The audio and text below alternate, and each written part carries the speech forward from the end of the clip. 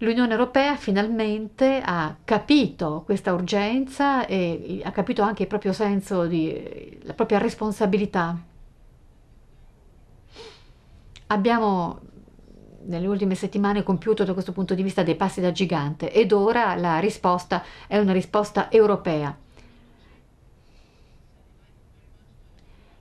E come suol dirsi, si tratta di una risposta globale, globale perché tocca tutti gli aspetti di un problema complesso che non verrà risolto con un colpo di bacchetta magica, ma per affrontare il quale noi tutti insieme, Stati membri e istituzioni europee, abbiamo elaborato un insieme di politiche europee